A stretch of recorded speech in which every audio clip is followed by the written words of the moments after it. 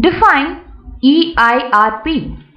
EIRP is abbreviated as effective isotropic radiated power. So if you see EIRP of a transmitting system in a given direction is said to be the transmitted power that would be needed within an isotropic radiator in order to produce the same power density in a given direction.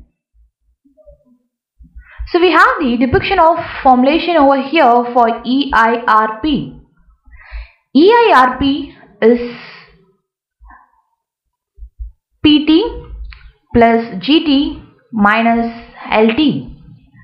So PT is nothing but the transmitter power in terms of watts. GT is nothing but the transmitting area in terms of antenna gain. And LT is nothing but the losses in the feeders.